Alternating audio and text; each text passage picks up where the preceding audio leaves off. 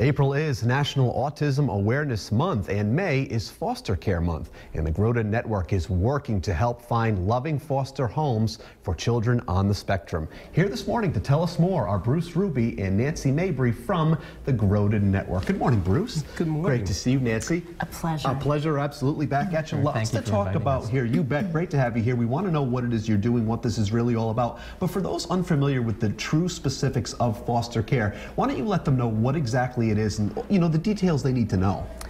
Um, Nancy and I are representing the Groden Center, which is celebrating 40 years. We've worked there more than half our lives. So we have a passion for working with children with autism and special needs. Uh, we're the directors of the uh, treatment foster care program at the Groden Center. It's called Professional Family Living Arrangement. And what we do is place children with special needs throughout the state of Rhode Island in homes with parents who have been very trained to deal with some behaviors of the children we serve. Right. Many of the children have uh, a variety of needs, either um, a history of aggression or self injury. Um, and they require a, a certain kind of home and parents to take care of them. Um, so our, our job as administrators and clinicians is to support the parents and the children in the home as they work towards reunification or permanency, going back to their own home or perhaps adoption. Sure, and Nancy, you know, how rewarding is it for all of you to be doing this? I mean, you know that these kids are in need. They need this assistance, and you're providing it for them. Yes, and I think it's important to um, to highlight the legacy of our founders, Dr. June and Dr. Gerald Groden, their colleague, Dr. Uh, Grace Baron, who started our program. Um, 40 years ago. Right. So over over those 40 years, um, 38 of which I have been part of the program, um, we've seen some remarkable developments in autism spectrum disorder treatment. Right.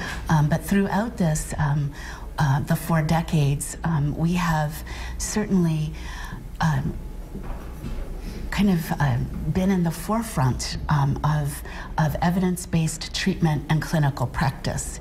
And as uh, members of our clinical team, as leaders of the clinical team, we hope to um, kind of bring that to our support and advocacy for the children that we serve and for the foster parents that we support. Absolutely. And suppose somebody wanted to become a foster parent, how can they go about doing so? That's a great question, and, and that's one of the reasons we were here, and thank you for this time. Uh, you know, in as you may know, in Rhode Island, uh, there's a movement to move children from congregate care to a less restrictive setting. Um, the challenge here in Rhode Island is that there are not enough foster families.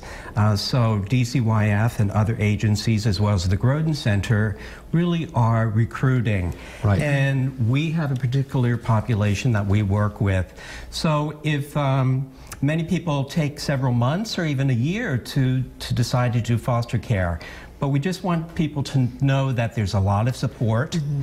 And they can come to the Groden Center and talk to our colleague mm-hmm. Andrea, who will walk them through the licensing process, All right. pre placement training, and they too can take a child into their home who really needs that opportunity. Well, it's outstanding work, and Bruce, we congratulate uh-huh. you and the Groden Center on 40 great years. Here's to the next 40. Thank you All very right, you guys. Much. Pleasure to have you here. Join us today. If you'd like more information about the Foster program at the Groden Network, just head to our website. It's rhodeshow.com.